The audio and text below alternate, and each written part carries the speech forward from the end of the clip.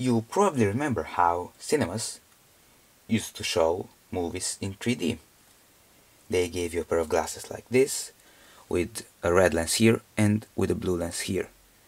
The image projected was also a bit different. Now they use a different technology.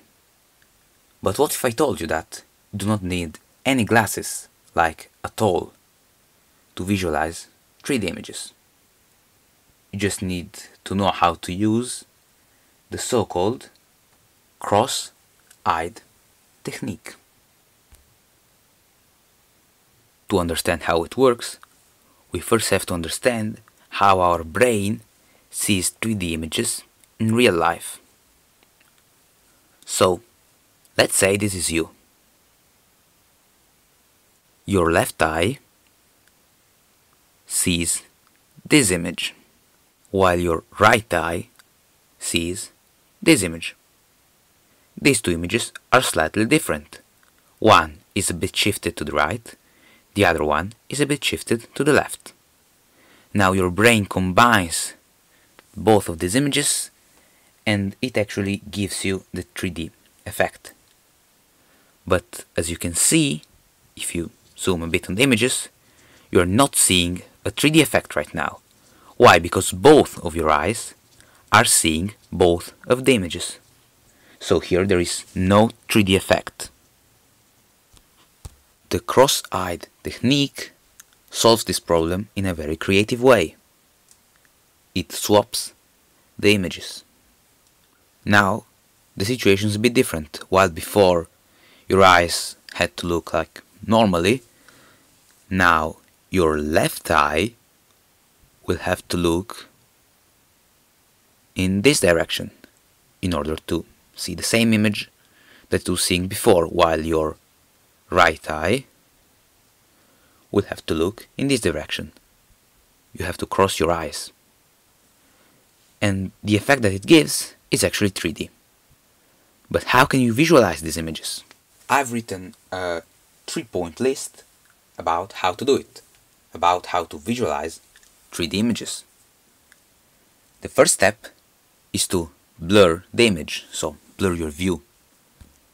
Now, you should be seeing a thing that complexively is blurred, but if you look closely, you'll see that there are three images. So one on the right, one on the left, and one in the middle. Believe it or not, the image in the middle is the one which should have the 3D effect.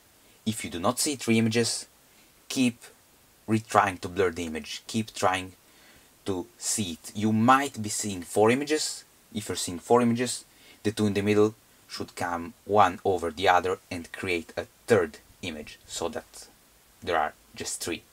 Step 2 is aimed at solving the problem which of course blurring your view uh, has created which is that now you're not seeing the image focused. So you'll have to move your head closer to the image or further from it in order to focus. Now if you're holding a phone it is probably easier to just move your phone, right? That way you should be able to focus. Step 3 is a tip, practice, because seeing your first cross-eyed 3D image is quite a long process, seeing your second one is a bit shorter, your third one is even shorter, and so on. So the more you practice, the easier it will be for you to see 3D images. Now this is the cross-eyed photo of the Christmas tree of the example before. Use the technique that I just told you about. Blur the view, make sure that you're seeing three images, and then work to make so that the image in the middle is well focused. Take your time, pause the video. Remember, if it is your first time, it might be quite long, but it is very satisfying, so definitely try doing it.